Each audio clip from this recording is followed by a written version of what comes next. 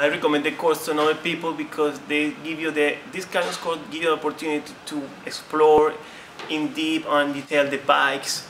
You cannot get any of this experience if you do it by your own or if you're gonna get hired from somebody else. It's gonna be quite difficult. In the college, you get all those facilities to get involved, uh, to get your hands up in your in your motorbikes. They're very practical courses, um, so they're really for people who don't mind getting their hands dirty. We've got a, a vast range of different motorcycles here, um, ranging from little Gilera runners to uh, GSXR 750. The different bikes we've got here are, are quite impressive.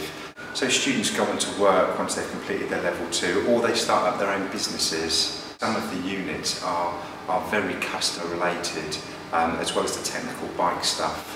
Um, so like to feel kind of setting you up to start your own business.